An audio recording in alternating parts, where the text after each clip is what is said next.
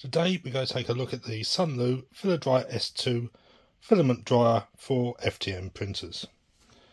So here we have the machine, we have a touchscreen at the front. On the top we have two exit points for your filament so you can feed direct to a uh, FDM printer. These both have Teflon inserts and this does come with a pack of spares. On the rear we have the power lead and inside the machine we can see that the heater element is distributed right across the bottom of the machine. Uh, so here I have a reel of Bambu Labs PLA matte filament that places into the machine like so.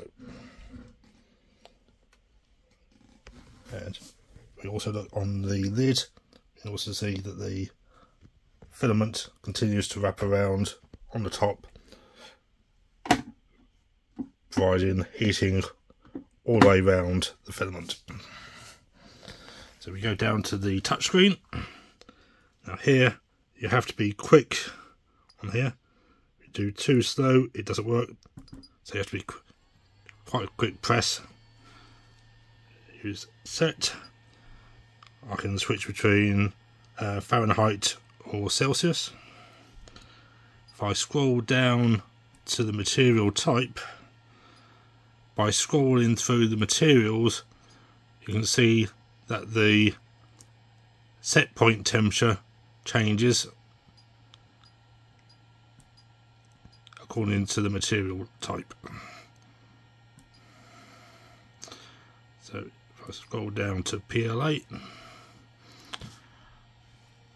move down one, you can turn the LED outer ring either on or off. Personally, I prefer it off. so in here, this is quite quiet to run.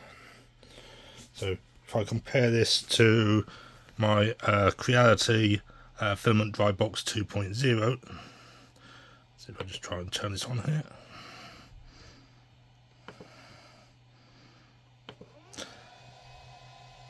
you can hear that this is considerably more noisy than this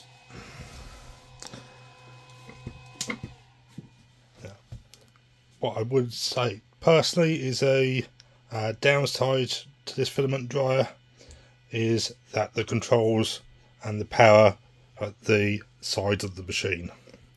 So you cannot stack the machines this way side by side. Whereas with the Creality, I can do. So I hope you found this video useful.